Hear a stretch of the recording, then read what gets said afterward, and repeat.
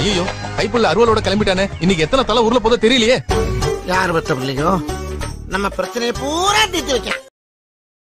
ஆஹா சூனா போனா ஒவ்வொருத்தர் இருக்க வேகத்தை பார்த்தோம்னா அவன் அருமை வறுமைக்கு ஆபத்து வந்துடும் போல் இருக்கடா. ரொம்ப கவனமா டீல் பண்ணி ஆட்டத்தை கலைச்சிடுறாசா